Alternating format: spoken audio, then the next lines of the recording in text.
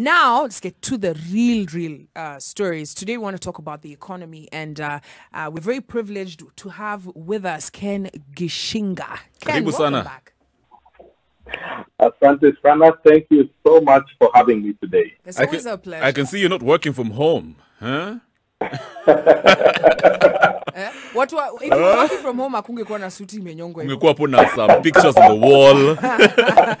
Ken, thank you so much for being here. So what we're going to do, we're going to open the phone lines for the public. Guys, today we're talking about the economy and not hii pali tuko. Tunataka kuongea 2022 because any person who wants to become a president or a leader or wants to lead us to anything, the first thing first, I think it's one of the pertinent is how, what are you going to do with the economy? And uh, Ken, before I open the phone lines, um, as an economist, eh, just give us a temperature check. How is the economy doing? So far. Indeed, uh, it has been fairly subdued because of the current COVID containment issues. Yeah. Um, the hospitality sector has been affected, transport has been affected, and uh, we are seeing uh, a lot of businesses um, shutting down. Yeah. Uh, In fact, one of the most uh, common requests we are seeing from clients is people who want to sell off their businesses. Wow. So it's a difficult time, and uh, we hope that uh, that May 28th date uh, will not be extended, Yeah. and at least we'll be able to see a full reopening of the economy. But aside from the economy, of course, uh, last time you were here, we spoke about during because you know this is two terms of Uhuru Kenyatta's government, and uh, we are about to now, of course, you know, all things remaining constant, uh, we could we we're facing another, you know, another leadership, right? Another government, another different thinking, and uh, when we look at Kibaki's government, one thing that he's lauded with is, you know, that he left the economy strong and stable, right? L- forecasting and looking at 2022 um, the, the game after kibaki's government was always uh, you know other things that were not necessary economy wasn't at the heart of it. Why will economy be at the heart of elections in 2022 Indeed, one thing that I've said for quite a long time is uh, far too often our politics have been dominated by tribal uh, backgrounds. But 2022 will possibly be the first election year where we'll have something extra, and that extra will be the economy. And uh, the economy has affected um, every sector, every player what I will call for during the call of this show is a sense of balance. Yeah. What we need is balance, and I'll talk a bit about that as we get a bit deeper. What we have right now in Kenya is imbalance, where we are heavy on one part of the economy and very light on another part of the economy. And I'll give the analogy of a table which has four legs. If one of those legs or two of those legs are short, then you'll find the table becomes very unstable. yeah And that's what we have in Kenya. That lack of balance is creating instability. So I think uh, one of the things that Kibaki had the insight of was to have that sense of balance between what we call fiscal policy and monetary policy. Mm. And I'll talk a bit about that. And I'll talk about the factors of production mm-hmm. these are the things, the building blocks of an economy. And the key message I'll tell your viewers today is all the four factors of production have to be nurtured and cultivated for us to have a balanced economy. So balance will be at the center of my message today. all right all right so guys phone lines are open 0719012700 leo kuna swali tunauliza. Wewe ukiangalia 2022 kwa sababu unajua it boils down to you. Wewe ndio kusema wewe ndio wewe ndio bazoo, wewe ndio boss. Wewe ndio kusema mwenye ataingia huko na Kenya unataka adu. Ukiangalia sahii kwa sababu 2022 tutakuwa tunaongea juu economy pia. Mambo ya tribalism tumesema hiyo tumeacha 2016 in 2022 ukiangalia ama players wote wenye wako in politics right now. Because mwenye atakuwa president atatoka tu kwa hiyo crop. Yeah. nani ndio unaona unaweza mpatia kifungu mwambie economy nataka unifiksie economy. Mm. call us up right now 0719012700 and just take it a bit a step further and tell us why. Why do you believe in this person? Mm. it could be anyone no judgment. Remember it's a court of public opinion and all opinions expressed here are individual views. Stallone. Yeah, mambo ya mimi na kani president mm -hmm. mi naweza pita na Fred Motwa mm -hmm. juu tunaona venye kaunti yake venye imeendelea. Fred, huyo ni kaunti gani? machako sa fred Motwa. Oh, Alfred, Alfred Mutua. Mutua. Alfred Mutua, okay. Amesema atenda na Alfred Mutua because of what he's done in his nini. But he didn't yeah. explain because aje explain amesema tu yani um, Alfred Mutua. Patrick Kadere, good morning. Yes, yes, yes, sir. Karibu sana Patrick. Mimi naona kama election inaweza kuja 22 kama nitakuwa hai tu. Na mafaa kuwa kwa ballot, mimi nitamwaki Mutua. Mutua, Mutua. Alfred. Wow. Alfred Mutua, sasa huyu Mutua mimi naona hata ambulance huko alisema ni bura ulipi na huko Trans Nzoia you must pay 7k ambulance ikikubebu unasikia. Na mimi naona anabebea watu free kabisa, free si unalipa na anafuta dereva mwenye amehitaji kitu. Sasa mimi napea yangu. All right. Patrick Adera there from Kitale saying Wow. Alfred Mutua. And, and, and Ken, I don't know if you can hear us. Um, the point that uh, Patrick has mentioned, um, why we're giving the, the listeners a chance to speak, because at the end of the day, you know, we we as uh, uh, as the electorate, we don't have enough civic education to uh, to help us understand you know what what some of these manifestos are when they say they're going to help the economy. We we, we see the headline but we don't really chambua. So we're giving the listeners a chance to help us see it from their perspective. You can hear someone is saying alfred mutua because he gave us access to healthcare. Right? And, uh, and you, you're, you're going to speak about all this. I hope you're writing your notes. So let's go to the phone lines again. Hello? Hey, ni aje? viti tunaongea na nani Raskoplo hapa nimerudi tena Mombasani. karibu sana changamka unasema leo wewe 2022 nani unapatia afix economy mi huu mtua Wow. huu mtua huu mtua huu mtua ako poa. Hao wengine wote mi naona ni. hao wengine wote ni mafisi thank you so much mtua anaweza. mutua anaweza again we're getting mutua and these are from all, all, all parts of the country yeah, that's let's go to tala mackenzie Hello morning mate. morning Hello Kambog. wagwan karibu sana Ah, hapo hivyo na mimi nasema hivi Kwambox. uh-huh. Ai mimi navotia Mutua hapo hivyo. Who? Umesema unavute nani? Kwa Gavana wangu kutoka Kitanta mwingie. Mhm. Nataka tumeshuhudia vitu mob. Kwa hivyo mimi nasema tu nimetoa kati njia. Mutua all right again. mackenzie let me let me let me dig just a bit deeper Ame- amejikata all Say Mutua, right? he said mutua oti Yes, Kwambo. wagwan uko fiti Niko fit dadangu, niambie. sisi tuko fresh hapa kwa studio mazi hapo likoni sasa angalia economy na Eh. venye inafanyika 2022 ni nani una trust atafix economy Mimi 2022 nikiangalia upande wangu mm. Ah, mimi naona Rao Rao hapo iko chonjo kabisa huyo buda. rao hata fix economy Eh. Eh, Wai wai mbona Rao? Rao ukiangalia hata rela- relationship yake na nchi za nje kama vile labda Europe eh. uh-huh. Mtu anaweza hata anaweza aka, aka, nini akaleta ma investors wakainvest huku. So he has a network.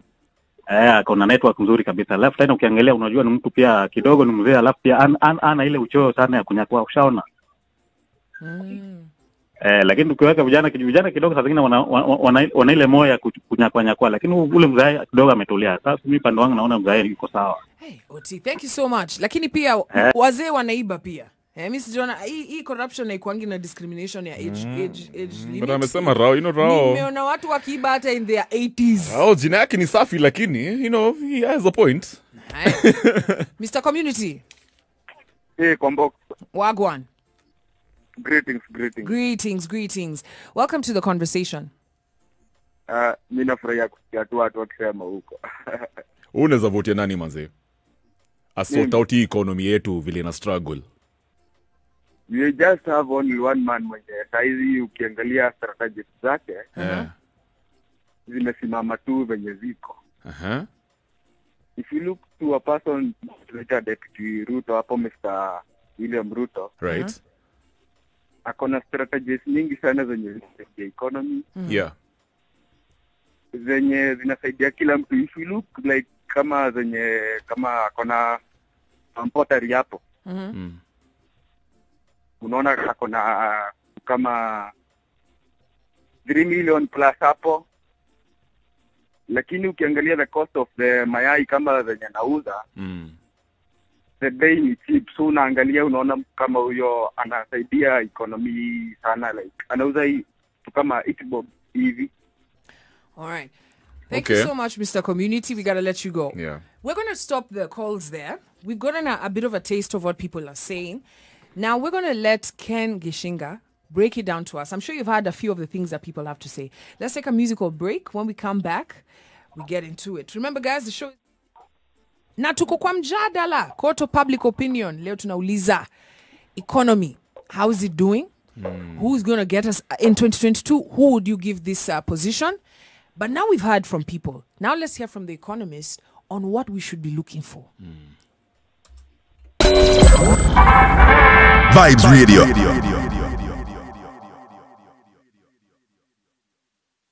All right, let's get into it. Of course, uh, we're still talking about the economy, and uh, we uh, before the break, we had heard from the public on uh, what they think or who will lead us into you know that economic balance, Right. stability, which is the the canon that we're all looking for. Ken, from what you had, jump in. What what do you think? Guys Um, are saying Mutua will fix the economy. Yes, I mean, but this, is, yeah. is this a somebody thing or it's a structure thing? Yeah. What are some of those things that whoever comes into power, uh, 2022, in terms of fixing the economy, should look at? it's very much a structure thing, and I think you're absolutely spot on to that. And uh, many thanks for your listeners for very good contributions. And indeed, all the politicians today are talking about the economy, and they're saying they'll grow the economy. We hear about uh, bottoms up, mm. we hear top down, mm. we hear we hear so many things, but unfortunately, none of those is grounded in actual economics. Mm. Because a serious candidate who's talking about growing the economy has to talk about the four factors of production. Mm-hmm. The first factor of production is land.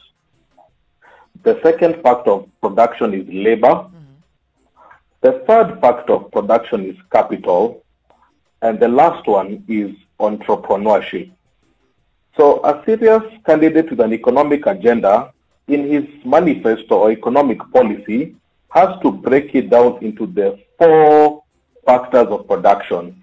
And, and this is what I say, these are the four legs of the table that keep it stable.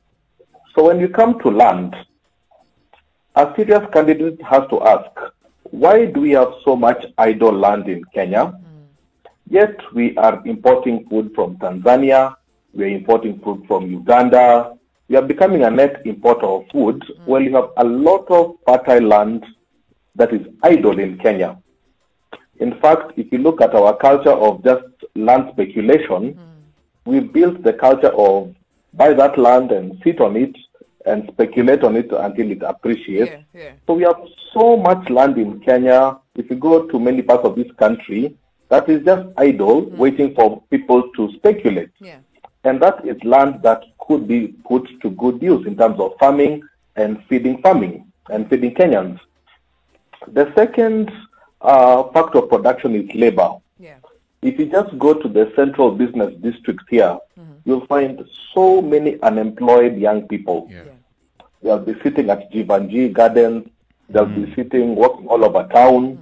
And a serious candidate has to ask, how do we get these young people? And I'm going to use the example of agriculture here Yeah. because it's something everybody can identify with, Yeah. but it applies to every sector of the economy. Mm. So a serious candidate has to go to his county and say, all these young people, yet we have so much idle land. Can't we surely put these young people in places where there's this idle land and to be able to produce? Yeah. The third part is capital, because you can't do anything without capital. And in agriculture, capital is things like tractors, um, seedlings, um, fertilizers.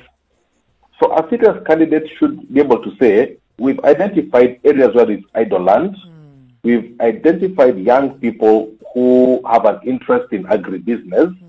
Now we just need a bit of tractors, a bit of genders, um, seedlings, fertilizers Yeah. he should be able now to organize those or at least facilitate them in a way that's easy. Yeah. Then now you have people now actually cultivating the land and producing things. Then that brings in the last person, which is the entrepreneur. This is the person who sees all these things together. He sees the land, the labor, the capital, and says, I think in this place we have a lot of dairy farming, we have a lot of dairy industry. So instead of just uh, selling milk like that, can we possibly start a yogurt factory? Yeah. and be able to absorb some of those younger people into do what is called value addition.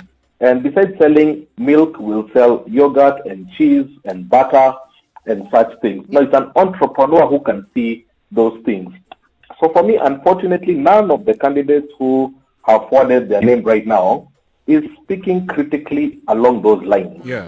And that's what gets very worried because we're going to get into the whole thing of um, vote for me, I'll grow the economy, Yeah. but we don't get the specifics. So these are the specifics that your voters need to ask uh, the president, the governors, you know, what is your agenda on all these four factors of production? That's very interesting. Now let's let's let's look at uh, you know we lived in one in one presidency. I'm going to start with Moise uh, Mo, Mo, Moise because he he he uh, inherited from Jomo Kenyatta the culture of you know let people farm, let people work. But was there you know was this you know like if you're talking about land, there was a lot of idle land in that time. If you're talking about when you're talking about capital, a lot of uh, businesses were not. It was not a favorable place to do business. But then that was is that that was the difference in uh, uh, um, Kibaki's government, where a lot of businesses were running into the country because the economy was good. It was a it was a, a good, Good environment, to do, a good environment to do business. yeah. But in Uhuru Kenyatta's government, something opposite is happening. A lot of people are looking at it as an unfavorable place to do business. So, with that said, what are some of those low hanging fruits? Yeah. Someone who's getting into 2022 can start sealing because if it's if you if you talk about uh, and I feel like in Uhuru Kenyatta's government uh, there's been a lot of focus on the labor aspect of it Yeah. uh, you know and the, and the Infrastructure, I think. entrepreneurship Okay. Entrepreneurship. So trying to make sure that people are able to get loans and work and you know and, and start entrepreneur uh, entrepreneurship. I don't know how effective it's been. And then you also have labor which is let's give you know nys let's give these guys jobs. But how effective has it been? So looking at the low ha- hanging fruits that are there not to get too technical but someone who's getting in what when they start telling us their manifesto what should we be hearing right in terms of fixing what is already currently ongoing so hold that thought we got to pay some bills and when we come back we're going to be speaking about this guys remember if you've got any questions remember to use the hashtag Kwambox and Kev. Vybez Radio.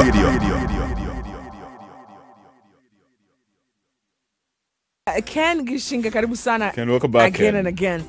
So now, w- low-hanging fruits. Yeah. We're talking about the economy on Mjadala, hmm. and uh, for the for the for the electorate. You know what will be low-hanging fruits because you know these guys they'll come with colorful color. Hmm. Before you know it, we're in another. You know when we're in hmm. another t- ten years of, of Yeah. leadership, and we we have no idea what these people uh, promised us. So what are those key things? Like if there's a, a, a someone who wants to get into leadership or someone who will be, what are those low-hanging fruits for economy that they must address? Many thanks.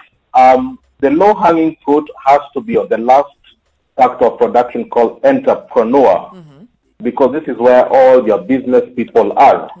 You remember last week the Kitengela Bar Owners Association went to court um, to argue that the 1% minimum tax is going to threaten their business. Yeah. And this is a challenge that a lot of business people have, that there are too many taxes Yeah. needed. For you to open a restaurant, sometimes you need an upward of almost 16 licenses Imagine. to Crazy. be able to operate uh, the business Yeah. and a lot of taxes. So I think the low hanging fruit is to really remove the barriers to enterprise. Yeah.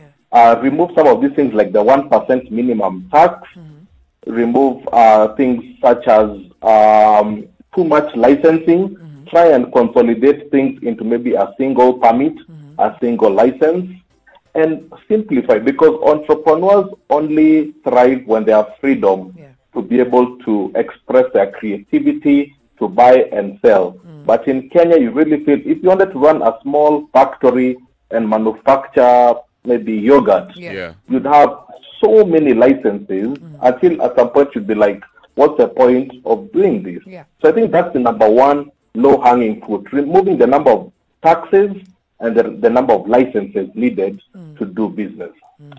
So, Ken, just to add on that, I've got a question. Yeah. So, you're talking about, for example, uh, elevating that entrepreneurship space, which I believe is the last beacon of hope for young Kenyans. However, how is that possible when uh, uh, word is, and uh, in fact, when we talk to some people who are entrepreneurs and people who are in the also some economists, wanasema Kenya lacks skilled um, young people who can even you know do like can thrive in the for example in entrepreneurship for example so i mean how does the new president you know the guys who are going to come in for the new regime how are they going to help you know improve on this skill based economy that kenya really needs Yeah, I think they, I think asking also that if yes, the labor being one of the uh, factors of production, is it something that someone has to look at finessing? Because Yeah. in this government, what we've seen is uh, from from from my experience, what I've seen is the youth have been wamepatiwa makazi tudogo tudogo. kazi iko lakini skills hakuna for example ziko mi najua Yeah? skills ziko but what should that president do to be able to to help us Well, there are two parts to that question. The first part is there are already amazing innovators out here. Only a few weeks ago, you remember you were interviewing the likes of Mike and Wowzy. yeah You know, Yeah. that's a fantastic uh, platform that is creating jobs yeah for Kenyans all across Kenya. yeah So already we have these innovators, and we need to encourage them. If you go to countries like Israel or the US, they really value these innovators, the Henry Ford, the Bill Gates, because these are the people who bring it together. Now, on the part of expanding more skills, mm. that speaks to the education system. yeah We need to ask ourselves, and most of us went through the 844 system, yeah which had its uh, pros and cons. Mm. And I know now they have moved towards the competency-based curriculum, Yeah. and we need to see how it will perform. But ultimately, it's about cultivating skills mm. that people can use in the marketplace. I remember reading about some young men who graduated from university and couldn't find a job, and they went to a local college nearby, and they took some um, mixologist course for about two months, mm-hmm. and they started their own mixology business. Mm-hmm. And I hear that they are booked every weekend. Mm-hmm. wow. So that ability to reskill, and actually, when you look at the US, we talk a lot about the big universities, yeah. But it's really these small community colleges where, if, for example, you lose your job, Yeah. you can go and in about two months, you're a software programmer. In about two months, you have learned some hospitality skills. Yeah. These small skills are the ones that help people retool, reskill, and uh, be able to. And that's why the US has a very vibrant labor market. Yeah. That if you lose your job, maybe you're a receptionist somewhere, you could go somewhere, learn a couple of skills on uh, maybe social media marketing, and be able to get uh, start a career as a social media. So we need a curriculum that is very dynamic, that allows people to quickly retool and quickly reskill. Mm. All right. So for those who are listening in right now, you know, I- I- I- remember at the end of the day, we're talking about 2022, uh, you know, politics. And and, and I gotta ask Ken. Um, I, I saw, you know, Musalia has come out talking about his, you know, economic strategy, and he has a background of being in charge of the finance ministry uh, uh, in his tenure. And then you have the deputy president. Very interesting, very interesting times. You know, getting uh, the economists who Kibaki used in his tenure to come up with a with an economic strategy. Is is that the way forward? You know, uh, is when you look at Musalia speaking about his plan, when you look at Ruto realizing that okay things are bad, you know, and planning for 2022. Let me get econom- economists to the table. Uh, but you're saying that their economic plans don't sound, you know, like an, an economist. So is the solution to actually have a team of economists on the on the job? it's very important to get specific. And I think what Kenyans right now are tired of just being told that their candidate will grow the economy. Kenyans want to know Specific. the specifics. Yeah. And that's what, when you look at the American elections, mm-hmm. that's what people talk about specifics. When Bill Clinton rode to presidency, his slogan was, it's about jobs. So we need to people, our candidates to say it's about jobs. So maybe uh, the likes of the leaders you've mentioned mm-hmm. can be able to say in their plan, Yeah. I think maybe Mombasa, the blue economy, mm-hmm. Is an area that we can really utilize mm-hmm. and make it like Japan. Japan has a blue economy that is produces billions Yeah. worth of revenue. Mm. So we are, we are thinking of starting a training college in Mombasa that can be able to skill people on the blue economy mm. or partner with one of the universities. So for me, Kenyans need to be rigorous this time. Mm. It can't be about we're just going to connect you to power and such things because that's been rehearsed so many times. Yeah. Any anybody can connect people to power. And it has to be you want to invest in this. Where are you going to raise the taxes? Yeah. Are you going to raise the taxes via hurting businesses, mm. or are you going to find other innovative ways of raising? And that's one area they never tell you. Almost every candidate tells you how they'll spend the money, Yeah. but they never tell you how will they raise the money. Mm. And sometimes the way they'll raise the money is by putting like this one percent minimum tax hmm. that really ends up now making your situation even worse. So people should be asking, yes, you want to do these amazing things, but how are you going to raise the revenue? Are you going to add more tax? Are you going to be borrowing from the IMF? Are you going to? It has to be very clear so that the hmm. people can know, yes, we are signing up for this. Yes. And, And and is this even down to the counties? yeah.